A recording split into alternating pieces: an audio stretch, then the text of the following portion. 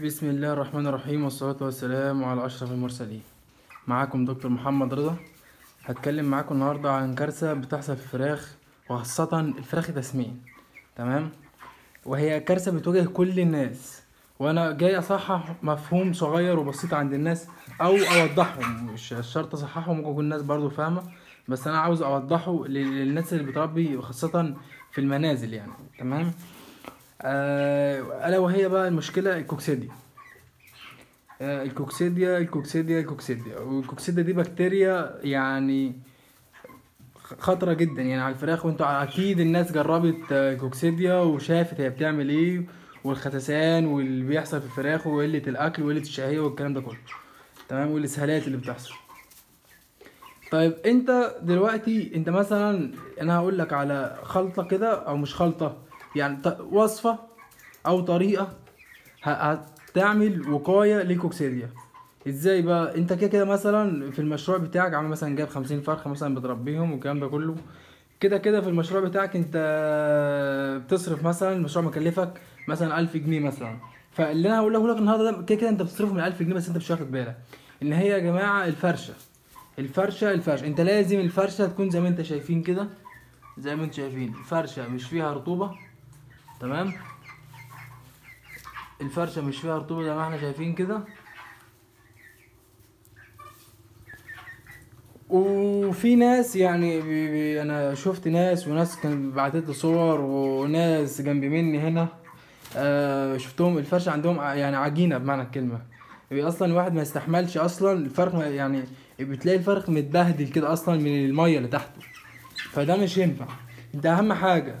الفرشة بتفرش فرشة كده نضيفة كل ما الفرشة تتبل معاك بتقلب.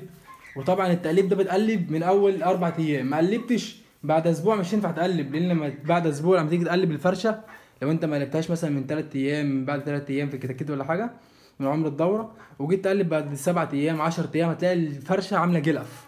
فمش ينفع تقلب تمام؟ فأنت لو بتقلب فأنت هتقلب باستمرار يعني من أول بقى الدورة على 3 أيام بتقلب على 5 أيام وكل 3 4 أيام إيه بتقلب مرة وترش رشة بسيطة. بتقلب وترش رشة بسيطة. ده بيعمل معاك إيه؟ بيقلل الجفاف. يعني بي- بيزود الج- الجفاف في ال- في الفرشة خلي الفرشة جافة. ما فيهاش رطوبة. ليه؟ الرطوبة هي اللي بتعمل لي مشكله إزاي؟ طب إحنا عشان نعمل وقاية من الكوكسيديا إحنا عايزين نعرف إزاي الكوكسيديا بتيجي في الفرخ الكوكسيديا ديت موجودة كده كده طبيعي يعني في الأمعاء بتاعة الفرخ. يعني هي بكتيريا موجودة فيها. طيب بس هي بصورة inactive يعني هي بصورة inactive طيب إيه اللي بقى بخليها active وتعمل عندك أمراض وتعمل مشاكل دي كلها؟ اللي هي بقى بتحصل بيحصل إيه؟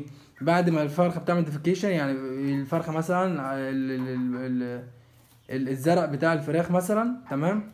موجود على الفرشة والفرشة بقى كلها مية وسايحة هي نزلت بصورة inactive تمام؟ تيجي بقى الفرخة بتروح لقطوها تاني بمنقاره كده وبتنقر زي ما إحنا كده في فرخة هي قدامك كانت بتنقر اهي زي ما أنتم شايفين. تمام؟ بس الفرشة ناشفة مفيش أي مشكلة. دي طبيعة أصلا الفراخ لكن لو نقر بقى مثلا والدنيا آه، مليانة آه، الفرشة رطوبة عالية وعجينة بمعنى الكلمة يعني تحت الفراخ آه، اللي بيحصل الكوكسيد البكتيريا دي بتخش بتحصل بقى إيه؟ بتتنشط تعمل صورة إيه؟ active انت كده بتعمل ال life cycle بتاعتها بتكمل هي بتمشي في دايرة اللي هي جوه الأمعاء بتنزل فرخة بتدخل تاني في بقها تخش تاني. كده- تبدأ تضرني تنزل تخش في الامعاء تع- تعمل مشاكل كده وهكذا وهكذا. طب أنا الحل إيه؟ أنا انضف الفرشه يعني ليه نصرف أدوية؟ والأدوية ده أصلا بتزود التكلفة عليا. واولا في ناس يعني ال- الفرخة ال organic أحسن حاجة يا جماعة. يعني فرخة organic من غير أي أدوية طالعة كده على المية والعلف دي كويسة جدا يعني. آه طعمها لذيذ بالنسبة للناس بتربي في المنازل أنا والأعداد برضه في ناس بتجيب 300 و400 500 برضه أهالي. أنا مش بتكلم عن الناس اللي بتعمل عنابر كبيره بتعمل عنابر كبيره ده طبعا بيشتغل أدوية. وقائية وممكن ما يشغلش أدوية بس بيفرش كويس زي ما أنا بقول لكم كده وبياخدوا احتياطاته. اللي هي اللي إحنا بنقولها دي. وترش جير. بس الجير يعني كويس وبيمط... الجير دوت بيمتص الأمونيا والكلام ده كله. بس أنا من رأيي في حاجة اسمها بودرة بلاط.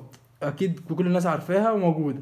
آه لأن الجير إحنا بنرش جير حي. إحنا الج- الجير الحي ما بيقتلش معاه البكتيريا آه، قوي يعني. الجير المطفي هو اللي بيقتل معاه البكتيريا. حتى أصلا الجير ده المفروض يشتغل إزاي؟ الناس بترشه وبتبخ عليه كده إيه رذاذ مية فبي... فالجير لما ينزل عليه ميه بيتحول بيحصل تفاعل كيميائي وتحول لجير مطفي. فالجير المطفي ده بينتج عنه آه، هيت حرارة. الحرارة هي بتقتل البكتيريا. طب أنا هنا ما هرش مية إزاي؟ هي لو عجينه كده أنت لما ترش الجير تمام؟ هو كده كده هيتحول لمطفي. طب أنا مثلا ع- عايز أعمل وقاية وك... ممكن ما ترش الجير مفيش أي مشاكل خالص برضو كويس هيقلل لك الأمونيا. و... و- وبودرة البلاط أفضل بكتير يعني. آه وفي طبعا دلوقتي طلع أدوية والكلام ده كله مش أدوية أدوية أه بيطرية آه زي الجير كده والكلام ده كله. آه فعالة شوية عن الجير. بس الجير ده في المتناول هو بودرة البلاط وسعرهم كويس وكويسين يعني. ده كده أنت كده ما فيش عندك كوكسيديا ما فيش عندك كوكسيديا بالتالي مش هيبقى عندك كلوستريديا أنت جالك كوكسيديا وما عالجتهاش هيجي لك كلوستريديا تمام؟ انت أنتوا واخدين بالكم؟ فانت عالجت من كوكسيديا وخدت وقاياتك لا هيجي لك كوكسيديا ولا كلوستريديا وكده انت الدورة بتاعتك هتمشي زي الفل. زي ما أنا شايف واهم حاجة تانية يا جماعة غير الكوكسيديا وهتكلم فيها في موضوع خاص برضو آه تاني اللي هو إحنا في الشتاء والتنفس بتاع الفراخ. زي ما أنتم شايفين كده مفيش فراخ تنهج. يعني مش في نهجان في الفراخ والكلام ده كله. ده ليه؟ دي كده مش مش في أمراض تنفسية. وزي ما أنتم شايفين أنا يا دوب فاتح الشباك كده إيه مش فاتحه يا دوب كده يعمل آه، يدخل أكسجين ما يعملش تيار التيار هو اللي بيسبب له مشاكل تنفسية. وهنتكلم بالتفصيل عن الموضوع دوت بس أنا حبيت أنوه وأعرفكم عن المشكلة ديت. والمشكلة التانية برضو بسبب الكوكسيديا دي المية. ممكن آه، يعمل defecation الزرق بتاعه ينزل في المية فلازم ال- ال- السقايات تبقى نظيفة كده يا جماعة وننضفها على طول ونعليها. يعني نحاول إيه نعليها كده يبقى السقاية في مستوى ظهر الطائر وكذلك العلاف يعني أول حرف العلافة على أول ظهر الطائر مش تقيس على رأسه لا على أول ظهر. ده المستوى المناسب. تمام؟ آه رب أكون أفدتكم آه جديدة ومعلومة كويسة وتوفر عليكم ويا جماعة الوقاية خير من العلاج زي ما بيقولوا. فأنت ليه تكلف نفسك وتصرف والفراخ يجي لها إسهالات وتخس وعلف على الفاضي والدنيا تبوظ عندك ونفسيتك تتدمر؟ وتلاقي مثلا في ناس يا جماعة بتحط كل فلوسها في حاجة زي كده في 100 فرخة في 200 فرخة على قد حالهم. فأنت ليه أنت طالما عملت حاجة تبقى قدها وتشتغل وتظبط وتطور من شغلك وتحاول تشوف إيه المرض. إحنا وجودنا أصلا الأطباء البيطريين دورهم إن أنا أوعيك إن أنا أقول لك ما تقعش في المرض ده إزاي. مش أنت وقعت في مرض أنا اعالجه ماشي أنا برضو أعرف اعالجه بس الدور الأول والأساسي إن أنا أمنع حدوث المرض. وانت تكون عندك الخلفية انك تعرف تربي إزاي.